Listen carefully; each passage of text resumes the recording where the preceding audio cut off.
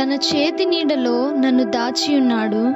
నన్ను మెరుగుపెట్టిన అంబుగా చేసి తన అంబుల పొదిలో మూసిపెట్టి ఉన్నాడు యెషయా నలభై తొమ్మిదవ అధ్యాయం రెండవ వచనం.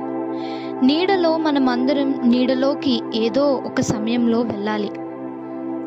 ఎండ కళ్ళును మిరుమిట్లు గొలుపుతుంది. కళ్ళు దెబ్బతింటాయి. ప్రకృతి వర్ణాలను వివిధ రంగుల్ని గుర్తుపట్టే శక్తిని కోల్పోతాయి. వ్యాధికలోనై మసక చీకటి కమ్మిన గదిలోనో మన వాళ్ళెవరన్నా చనిపోతే దుఃఖఛాయలు కమ్మిన ఇంట్లోనో కొన్నాళ్ళు ఉండాలి. కానీ భయపడవద్దు. అవి దేవుని చేతి నీడలే. ఆయనే నిన్ను నడిపిస్తున్నాడు.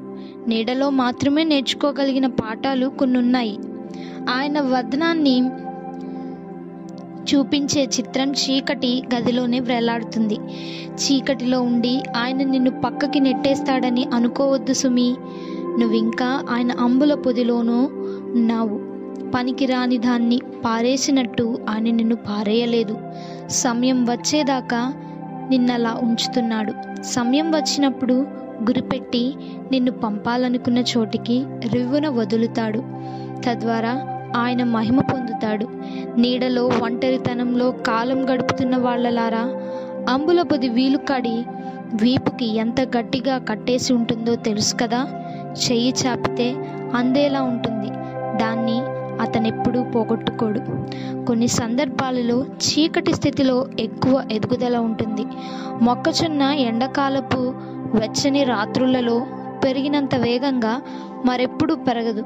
మధ్యాహ్నపు టెండలో దీని ఆకులు వంకీలు తిరిగి ముడుచుకుపోతాయి. కానీ ఏదన్నా మబ్బు సూర్యున్ని కమ్మగానే తిరిగి తెరుచుకుంటాయి. వెలుగులో లేని శ్రేష్టత కొన్నిసార్లు నీడలో ఉంటుంది. ఆకాశంలో రాత్రి వ్యాపించినప్పుడే నక్షత్రలోకం సాక్షాత్కరిస్తుంది. సూర్యరశ్మిలో వికసించని పూలు కొన్ని రాత్రివేళ విరబూస్తాయి అలాగే మామూలు సమయాల్లో మనకు కనబడని సద్గుణాలెన్నో కష్టకాలాల్లో స్పష్టంగా బయటికి కనిపిస్తాయి